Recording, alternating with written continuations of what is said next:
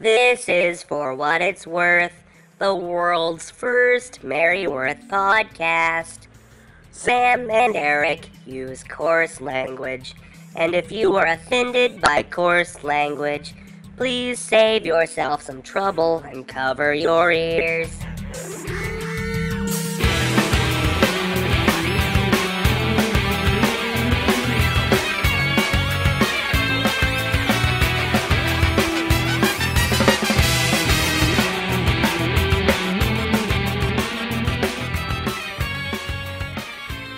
Ain't got no body. Nobody cares for me. I'm so sad and lonely.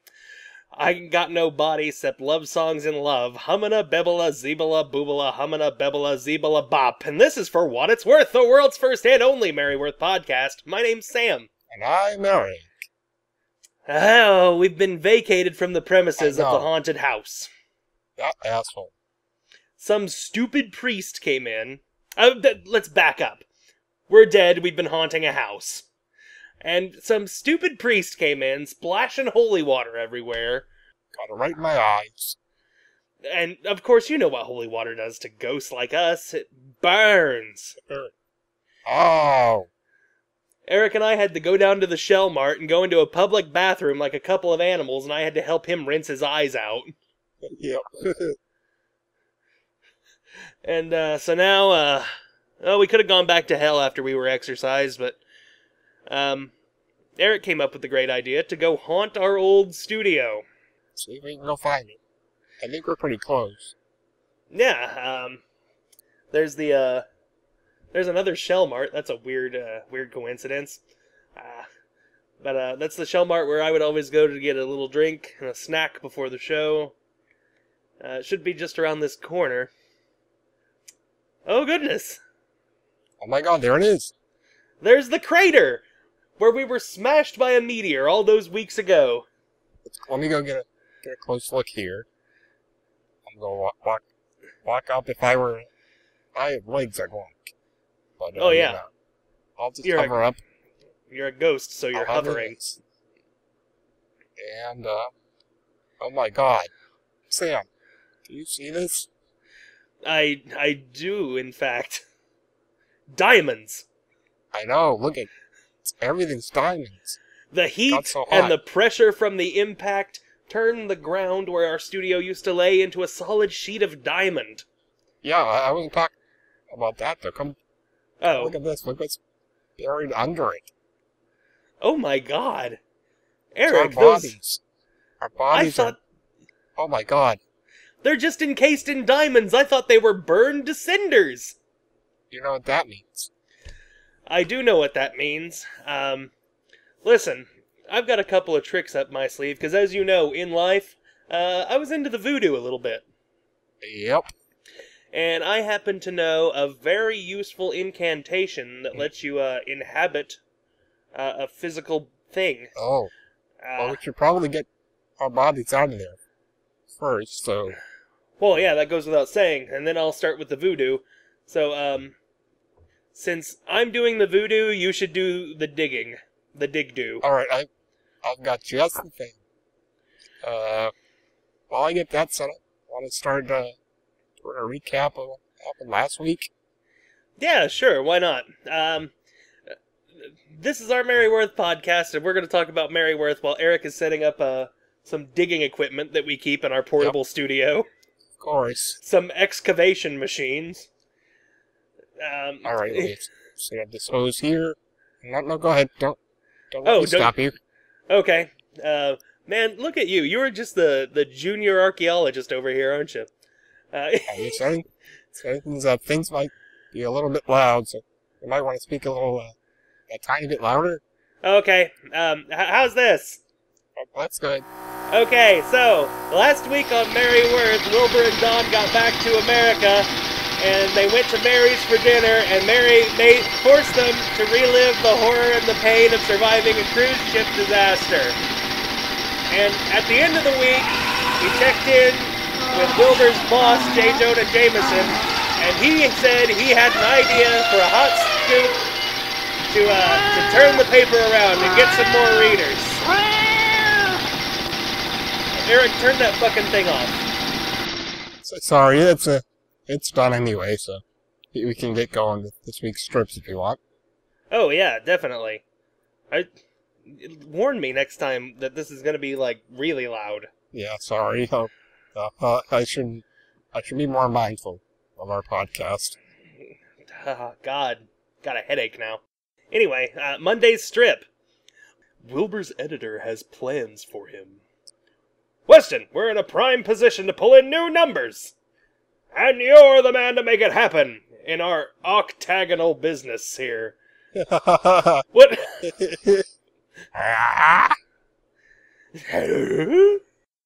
We here on uh, at LexCorp. yeah, really. Look at these buildings here that compose the Santa Royale skyline. Got one that looks has like a little slope coming off of it there. That's uh that's so Jackie Chan can jump out of one of those windows and slide down to the bottom. like some kind- some kind of banner. Uh, the uh, the one to the right of that, that gray uh, cube up on top, descends into the building. It's the penthouse suite, but sometimes they, you know, pull it in for low flying aircraft. yeah. uh, I'm kind of confused as to what shape the uh, the Santa Royale Gazette's uh, building is supposed to be in. I Mm, count one, two, three, four sides. Yeah. Okay. Wait, wait, one, two, three, four. Yeah, you're right. So, I guess we're right. Eight. Yeah, maybe eight on That the other side. sense. That's qu- that's quite an impressive building they've got there. Uh, so um, I, Not much to say here. Is there? no, uh, Tuesday. Tuesday. You survived the Italian ship disaster. You can write a first-person account of what happened. Yes, I can. Has anybody ever told JJJ that it's impolite to point? Yep, and um, are we sure this is uh, J. Jonah Jameson, or, or is it Clint Eastwood? you survived the Italian ship disaster. Get off my lawn. I'm sorry, I'm not, I'm not on your lawn. I'm in your office. Why are you calling me racist slurs? Gran Torino. we can do a weekly series of special write-ups. I can see the headline now. I shouldn't be alive, but I am. Truer words have never been spoken. I think Wilbur could start writing uh, events uh, much earlier than than this uh, boat crash. Wilbur could make any headline about his life that headline. When I was five, I tried to swallow five marbles at once. I guess four marbles is my limit. he just recounts every time he's cheated death. In his enti- Or entire life. He's gonna milk this for everything that it's worth. either that or or both every time he's cheated death or any time he has done something where he has thought that he has no place in this world. Yes. One time I dropped a whole pizza face down in the kitchen. I just scooped it back into the box and ate it like a lasagna. oh, Wilbur. I shouldn't be alive, but I am. I'm a monster. Somebody should have killed me by now. Um, also, uh, of note, uh, if you look, Wilbur's tie doesn't have an outline, so I think he's just Yeah. painted his tie onto his shirt. Oh no, it's it's it's made of like chicken wire. it's his, it's that it's the new thing that's in vogue in in, in Italy right now. Is, uh, chicken, chicken wire ties. Oh, People- it's great. People making uh people making clothing out of fencing. that someone's just like a wooden plank hanging from their neck. Um, I also like that Wilbur's uh, inherited the uh, the pumpkin orange jacket from the men that pass it around Oh. in Santa Royale. And they were so sickened by his inappropriate jokes. They're like, will you shut up? I give you my coat. Just take the orange jacket and get out of here. Finally, I belong to the Orange Jacket Club. Oh. Oh boy. Wednesday. Wednesday. There's strong buzz about the disaster. Readers be interested in my first person shooter. I mean, no, first person uh, perspective. I call it Half Wilbur. People play intrepid journalist Wilbur Weston as he fights against the Combine and head crabs. oh wow. Sounds like fun. That jacket he's wearing, it's the uh, it's the orange, and there's a little lambda lapel pin. Absolutely, that's my only line in that panel, so I figured I'd just throw it out there. I didn't have anything to say about it. Absolutely. Is uh is Mr. Jameson growing weed in his office, Eric? I think so. hey, uh, hey, Weston. Wanna toke up a little? Hey. All right, Weston. Now that we're both on the same page, let's get blazed. I like that Wilbur's like main concern is about the amount of buzz there is about the disaster. I know. It's like it's not a tragedy; it's a marketing opportunity. It's like this is hotter than Twitter. Everybody's talking about this. They say lightning doesn't strike twice, but for old Will Bino, it sure does. First hand, horrible tragedy where hundreds of people die, and now he can finally cash in on it. Cha-ching. Woo! Hop on that gravy train to the next panel. Meanwhile, Mary writes as Ask Wendy. In the wake of tragedy, what can we learn? Mary's got one of those new futuristic half keyboards that don't have all the buttons on it. yeah. Also, she seems to be uh, missing her neck. Uh, sh- she's like E.T. Her neck just kind of slides in and out of her body. She's retreating into the Mary shell. Only instead of a beautiful shell, she's uh she's got a very smart looking pantsuit and pearl necklace. Oh, it's lovely. It's just this legless torso laying on the ground, and then Mary's body slowly emerges from the sle- sleeves and the neck hole. Hey, uh, speaking of bodies, I, I think ours are ready to go over there. Hey, man. You know, I've only ever looked at myself in a mirror. I've never actually, like, looked at myself Yeah, with it's- my eyes. This is kind of weird. Um, I don't like it. Um, you, you said you said you had a uh, an incantation. oh, yeah, yeah.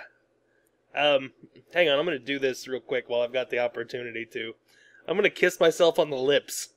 Oh, oh okay. hang on a second here. Mwah! Ugh. Ugh. What's it taste like? Well, before I got encased in diamonds, I'd had some Olive Garden for lunch. Oh, So that garlic's been sitting there for seven or eight weeks. It's become quite potent. Also, I now finally understand why no girls want to kiss me. Because that was grody. Anyway, here we go. It's uh, it's magic spell time.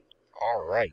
Um, I've painted my face up. I've got a, I've got my whole head painted black, and I've got a skull painted on the front of that, and I'm wearing a top hat. Yes. Uh, I got some Awesome. chicken feathers tied to a stick. This is how you do voodoo, right? Oh yeah, you look you look awesome. I totally looked the part. Okay, um, I'm going to put my hand, uh, put your hand on your forehead, and I'll put my hand on mine. And, uh, then we need to hold hands. Uh, n- nothing weird or anything, dude. Okay. Ade dui dimbella, give me the power I beg of you. Zaku sentiam me puavarte mort. Andale porte buase dimbella! Lightning strike. It worked. All right, we're back in our bodies. Hey, Eric. Eric, hold still. Purple Nurple. Ow. Haven't been able to do that since we died because you had no earthly Nurples to perp. I'm sorry I perped your nurple. oh, that's all right. You've been waiting for quite a while for that one. Ah, it's a it's a for what it's worth tradition that at some point during every show, I give Eric a purple nurple, and he usually cuts it out because he doesn't want to be embarrassed. Actually, uh, funny thing, ghosts don't have nipples. Uh, I'm sorry, nurples, Eric. Not yet. They're well, okay. So, Actually, uh, uh, a really funny sco- story. Uh, ghosts have like eight nipples, like a dog. ugh. can we go to Thursday now? God That's damn. yeah, let's do Thursday's comic strip. Thursday. Aside from the obvious safety checks, each of us take away different lessons. Like what, Mary? From major life events. What?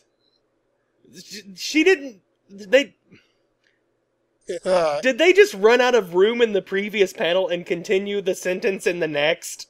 yep. Some of us change our views on what's important. boop, boop, boop. Dawn. Hi. Hello. Hi, Dawn. Dawn. Is Dawn wearing a lavender friar's robe in that Yeah. picture? She's wearing a, a forever lazy. She's given up on life. She's just laying around on the couch. Game of Thrones season 2 DVD. Oh. Life is brutal, but this time I have the life experience to appreciate it. Good old Dawn. She sure did learn her lesson. Hey, Mary, you, you got something on the back, back of your head there.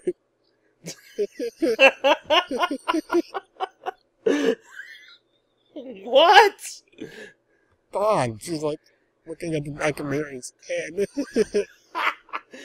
Your hair's kind of messed up in the back, Mary. You want me to get that for you? Uh, Alright, Friday? uh, yeah, let's do Friday. Moy and Giella at 8.31. Oh, that's not a speech bubble? Some people reevaluate their lives and find a major life change is necessary after a big event. Whoa, whoa, Mary, Mary's body's grown about two times the size. She's doing this on the TV in the living room. Yes. she just dragged her keyboard in there and set it on the entertainment center. and the keyboard, too. Is she shrinking? What's going on? Mary uh, has a room in her house where everything is 1.5 times the proper scale so that she can go in there and feel like a little baby. It sounds cute, but it's really weird. Jeff Um, doesn't know what to know what to think of it. Is Mary entering this email into like an Excel spreadsheet? Yep. She's gonna have to cosine the variables and assign Yep, a yep. sum to something. I don't know about Excel. Whatever we take away, we can agree that by helping each other, we are helping ourselves by making the world a better place. um, where's Mary's right arm coming from? Is it growing out of the middle of her stomach? Yep. I think so. I think she's got like an alien situation going on. Except it's another Mary Worth coming out of her rather than a faceless beast creature. yep, uh, I don't think that's supposed to be pink there, uh, colorist or... No, Oh, I- I think what happened is, um, Joe forgot to draw the lines, and then whoever Yes. colored it just went with it. they said fuck it. Whatever, I have to put up with this shit day in, day out. Oh, what you don't know is that, uh, uh, Joe gets his, like, uh, six-year-old granddaughter to color in the, uh, the panels. That's why everything is all these bright and garish colors. so it's got kind of color by number. he just he throws open Photoshop and he just says, "Okay, sweetie, get to work." As sweetheart, don't color outside the lines. Okay. and then he's out of there. Um, I have gone to the Maryworth uh, Cafe Press site, the official Maryworth store, yeah. and they do not have anything near as good as the I Love Santa Royale cup on know, Mary's the hell? desk. Come on, we're gonna we're gonna have to make that. There's like, for those of you who don't know, there is a Maryworth Cafe Press, and it is official. And there's like, there's like a picture of Mary Worth like with some gardening shears, and she's like cutting the heads off of roses or something. of course. and then there's a there's a picture of three Mary Worths just kind of standing there, but they don't make any sense. They're howling at the moon. I think there's one where she's howling at the moon. I just got it. Ah! uh, there's also one where she's uh, holding a telephone and saying, "Hello, this is Mary Worth. Can I help you?" There's no "I love Santa Royale" anywhere in there, Well. and I would buy the fuck out of that. I got a, a, a phrase for you. What's that? For what it's worth, merchandise. For what it's worth merchandise right now on the Yes. For What It's Worth store. You can go to it. It's um a dollar sign, another dollar sign, and a third dollar sign. fwiw.co.uk slash merch. And um, the island. Santa Royale mug. the problem is, um, there we couldn't afford the capital to make them full sized coffee mugs. So we got those little novelty coffee mugs you can get at Holiday World or Six Flags. you can drink like a like an espresso out of it. It's uh, It's um yeah, it's It's a shot. We've also got decorative spoons, collectible spoons. and they have Mary's face on the end of them. Uh, on the end that you eat out of, so Yes. the actual spoon part is shaped like Mary's head. It's Uh, delicious. Uh, So remember that URL, kids. It's three dollar signs fwiw.co.uk slash merch. Um, smiley faces in there. uh, yeah, a couple of uh, a less than sign and a three. Um, and use the coupon code BUMBO to receive 15% off Oh, of wow. your order. Sounds good. Audible.com. All right. On to Saturday. Saturday's comic. Helping each other is essential if we are to survive as a species. Mary, for God's sake, sit up straight. I know, just leaning right into the monitor. Don't get so close to the monitor, Mary. You'll go blind. hurt your eyes, you hurt your back. You're too old for this. Yeah, you should really sit up straight. I spend a lot of time at the computer at work, and if I find I'm slouching by the end of the day, oh, And I don't think your fingers are on homework. So you might want to brush up on your on your typing as well. it looks like Mary's keyboard is just each button's about a, a full square inch. That's, She's got, you know, those like novelty calculators that are, you know, like as big as a sheet of paper. She's got a keyboard like that. Otherwise, we will destroy what we've strived so hard to build our order, our structure, our quality of life. I have a feeling Mary's going to start talking about uh, killing millions to save billions. Yeah. Uh, view of uh, view of the city the ba- background. Yeah, it doesn't seem like she's giving anybody advice. It seems like she's writing her manifesto. yeah. it's Oh my god, you know those uh those Che shirts? yeah. We should make one with Mary Worth wearing a beret. Uh, and we can sell that in the For What It's Worth store. Good idea. yes. We're gonna monetize this if it kills us. so soon, Mary's going to summon a giant psychic squid, and that's it. That's Santa Royale. and she'll just clasp her hands in joy. I did it. I did it! Yay! Yay! she skips. skips right out the room. Um, outside, uh, Ian Cameron will um, explode Wilbur Weston. Wilbur- Just do it. Ian uses his amazing godlike powers to explode him. Uh, His amazing powers of condescension. Um. So, uh, Sunday, we doing Sunday. we doing Sunday? Sure, why not? Sunday, Sunday, Sunday. Mary continues to write the Ask Wendy feature while its regular columnist is on special assignment.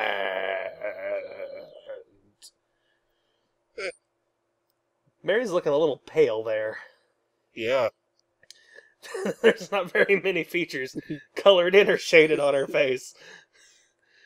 She's just stunned by what she sees. Dear Ask Wendy readers, I want to talk about helping one another. This planet is at a critical stage in its existence. Is Mary know something that we don't?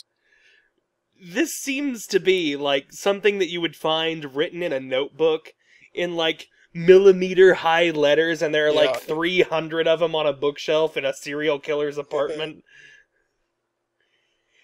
It's essential that in order for humanity to survive, we reach out to others and crush the weak. We clean the gene pool. Only the strong survive.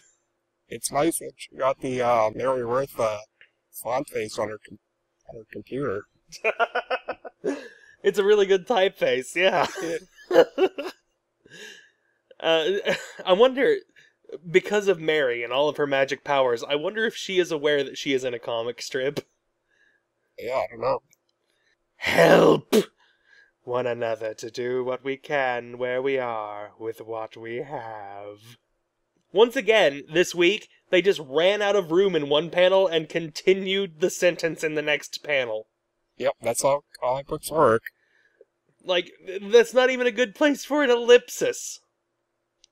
Meanwhile, Wilbur writes a personal account of his ship ordeal for his newspaper. I mean, what's up with that? It started as a dark but stormy night. Uh, that's some A plus writing from old Will Beano. Aha! I'm I'm confused. I turn my head like a puppy. what if, um, Once upon a time, but not so long ago, In a galaxy far, far away. but not in a different galaxy, but in Italy,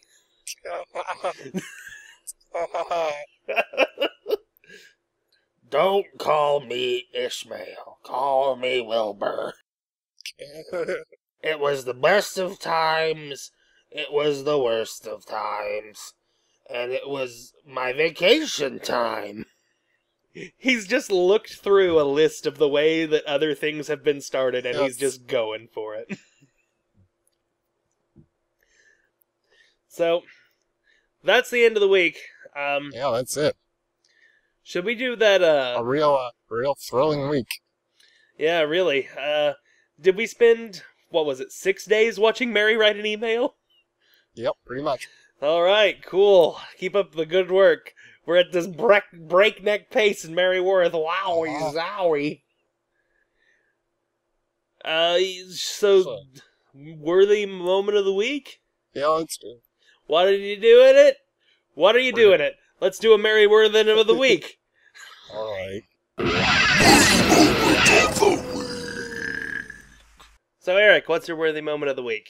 Hi, worthy moment of the week is Wilbur throwing his hands up on Tuesday and, and looking a bit like Al Roker. he looks like a white Al, Al Roker. He does look very Roker like. His fat little neck sticking out of his suit like that. now here's what's happening in your neck of the woods. That's Oh. what Wilbur dreams of being. Now that Al Roker has lost uh, all that weight. Now that Al Roker has passed away. That's what wait, no, he's not dead yet. Uh, I'd like to dedicate this episode of For What It's Worth to the memory of Al Roker. Poor guy. We're gonna miss you, buddy. So, what was your worthy moment of the week? Uh, man, I, I hate to say it, but I have the same worthy moment of the week as you. Yeah. Can we do that? Because there was that's- really that's- nothing that's worthy legal. happened. Nothing else happened that was worthy of anything, other than Wilbur with this goddamn delighted grin on his fat little face, saying, I shouldn't be alive, but I am. oh, you stand. You rascal. No. uh, when I was reading this, when I read this strip on Tuesday, when it was actually uh, first put up, I made this awful noise. I was sitting in my office, and I just went because I because I didn't want to like be laughing to myself in my office, yeah. so I was trying to make it sound like I was coughing. yeah. But I was tr- like the laugh overpowered the fake cough, so I just made this horrible like I'm being strangled noise. And then I got up and I walked into the bathroom and sat in there and tried not to giggle. But yeah, definitely worthy moment of the week right there. That's done. yep, double, double worthy moment of the week. Uh, Doubled up on it. Is that the first time we've done that? Um, I think we've done it a couple of times. Well, I think it might be the second time if we've ever done it at all. Yeah. So that means that we've negated them. It never happened, so we can do Oh. it again in the future. Excellent. That's how math works. yep. So predictions for next week? um. Oh God. I guess just more of the same. Wilbur writing his piano, Mary writing Wilbur's old piano that he should be writing. Yeah, um I think that we've entered what happens frequently in Mary Worth is that there's they that Karen Moy doesn't know how to end the storyline, so she just Yes. keeps going. Uh, and I think it is just going to continue going for. Oh, here's a good prediction. I think it's going to go on for the rest of next week, and there'll be a new story hook on Sunday next week. There's my prediction. Yeah, that sounds like a good prediction. Um, I also think they're going to do what they did at the beginning of this storyline, and mm-hmm. they're going to be following a completely different storyline, like Yep. interspersed between the new yeah. one, and then that other storyline will go nowhere. Because remember, Mary went to like went to the hospital and Yep. stuff. yes. I think that's going to happen. yep. So, we predicted. Yep. Now are we're going to thank. Yeah, sure. Why don't you start us off? Um, I'm going to thank the Aquabats for uh, making a song called "Sequence Erase" that we stole illegally, and we used it as the uh, we used it as a theme song for our podcast. It's that thing that goes. Yeah, that one. that music. Yeah, skate music. think- that's I what it's it- called. I think that's how it's pronounced. And all those skate kids go out and do that dance they call scamping, Yep. Scampering around. scampering around, wearing their checkered hats. That's Oh, it's so, it's so cute. that's a big thing in skate culture is the checkered hat. Uh, I'd also like to thank the Robot Beach Boys for being some old dudes who wrote some songs back in the 60s. And then uh, somebody probably in the 1980s. Oh, yeah, they're also robots. But then some guy probably in the 1980s made a crappy sounding MIDI of their song California Girls. We play that at the end of the show. Hooray. Who else are we thanking this week? Oh, I don't know. Who, who else do you have to thank, Sam? Um, on Facebook, I'd like to thank uh, Chris, the book writer. I'd like to thank my old buddy Ben. Ben said something. He he liked it or reblogged it or whatever you do on Facebook. Yay. I'd like to thank the Murphys, Patrick and Jonna. I play D and D with those two jokers. Aha! the hell was that? Um, okay. who do we need? Who else we do we need to thank, Eric? Who you got? Um, uh, on, on our, uh, flashback episode, remember that one? Episode nineteen, Origins. 18. Eight. Yeah, eighteen. You know, I'm just on the fucking show and make it every week. It's not like I'm supposed to know this crap. uh, from a, a user, uh, Kafka Jr. said that they appreciated the, my use of the, uh, the Lost flashback sound effect. So Did you say Kefka? thank you. Yep, I said Kefka. You, Ah. you know that, you know that character. Yeah, I loved that guy from Chrono Trigger. Oh yeah, he was a, he was a great uh, great hero from, from that game. He was great. Wasn't it the wasn't Kefka the main character of Chrono Triggers? Yep. Okay. I believe so. And uh, I don't know. It's getting kind of uh, Kafka-esque in here.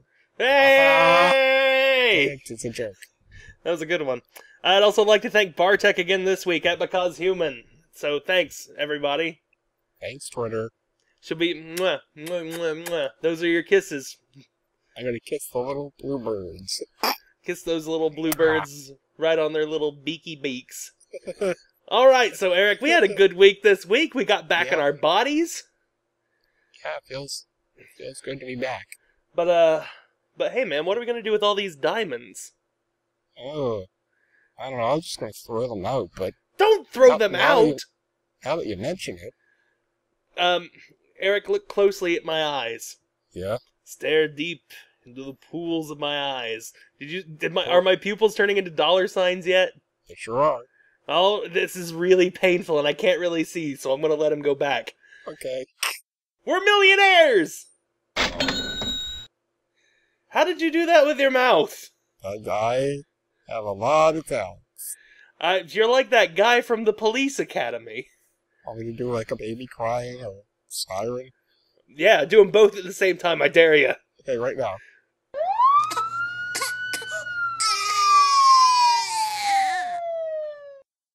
Amazing!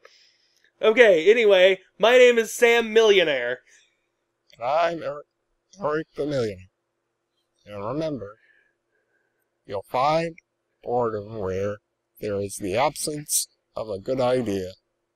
And that was your week in Mary Worth. For what it's worth, we're millionaires! Yay. We're millionaires.